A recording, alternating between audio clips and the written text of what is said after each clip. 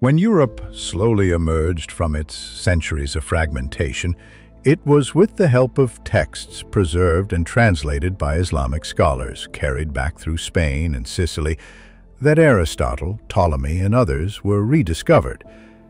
But the rediscovery was not a simple repetition. These texts came back transformed, enriched with new ideas and new techniques, waiting for a generation bold enough to question old certainties. For centuries, the earth remained fixed at the center, the heavens turning in their perfect spheres.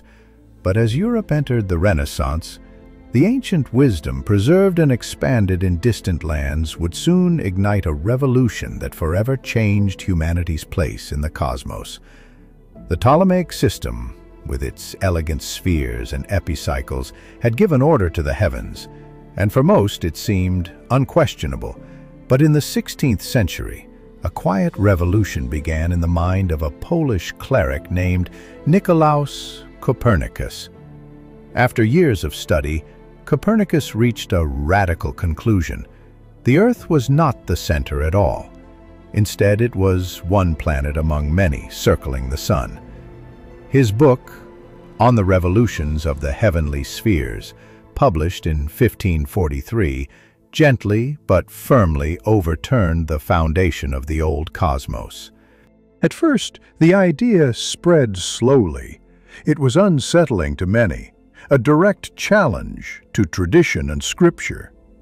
But others began to test it.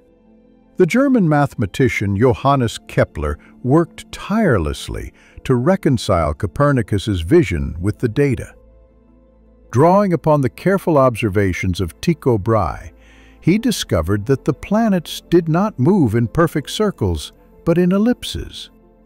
With his three laws of planetary motion, Kepler replaced ancient harmony with precise, predictive mathematics. Then came Galileo Galilei, a man who brought the heavens closer than anyone had before. With a telescope of his own making, he peered into the sky and saw wonders that shattered the old beliefs. Interested in learning more about the history of astronomy?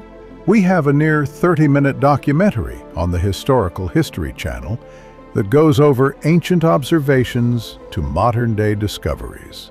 Link is in the description.